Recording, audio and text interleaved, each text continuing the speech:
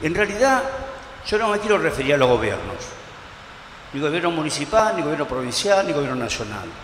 Yo me quiero referenciar sobre un proyecto político. Un proyecto político A y un proyecto político B.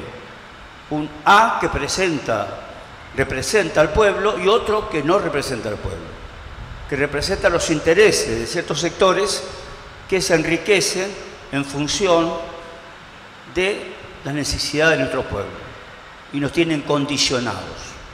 Esto es lo que pasó.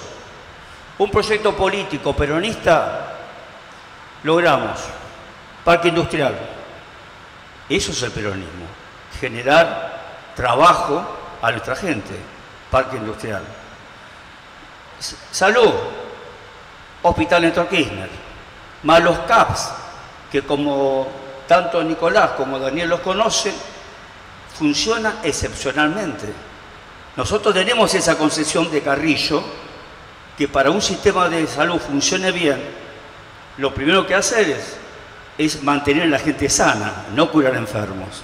Entonces, fortalecimos los sistemas de atención primaria que siguió fortaleciéndolo Andrés Waxon como intendente municipal. Y lo otro es la educación, los jardines de infantes, las escuelas industriales que se habían cerrado en nuestro distrito y la UNAG,